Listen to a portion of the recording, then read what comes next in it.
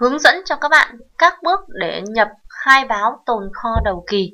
Để khai báo được số lượng tồn và giá trị tồn kho đầu kỳ thì việc đầu tiên các bạn sẽ vào cái phần danh mục vật tư ở đây.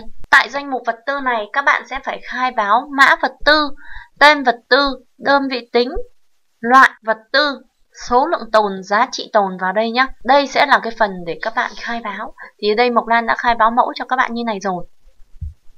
Thế ví dụ mà các bạn không dùng thì các bạn sẽ xóa cái dữ liệu mẫu của Mộc Lan đi. Bôi đen và nhấn vào cái nút delete để xóa hết đi. Dữ liệu cũ đi.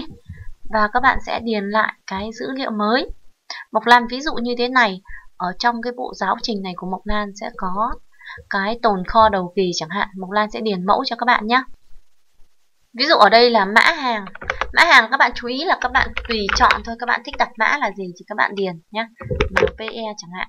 Đây là nguyên vật liệu thì Mộc Lan sẽ để đằng trước ký hiệu của nó là 152. Nếu là hàng hóa thì Mộc Lan sẽ để là 156. Tùy vào tính chất của mặt hàng các bạn thì các bạn nên ký hiệu như thế này để cho nó dễ hiểu. Tên vật tư là màng PE. Đơn vị tính là kg, số lượng là 300, giá trị là 1 triệu 680. Chỗ này các bạn sẽ điền là kg. Loại ở đây thuộc nếu thuộc hàng hóa thì các bạn sẽ điền ký hiệu là 156. Nguyên vật liệu thì các bạn điền là 152. Công cụ dụng cụ các bạn điền 153. Thành phẩm thì các bạn điền là 155. Số lượng ở đây là 300. Giá trị là 1 triệu 680 nghìn. Thì các bạn sẽ điền tương tự vào đây cho Mộc Lan nhé. Tương tự đối với các, các mã khác các bạn điền tương tự.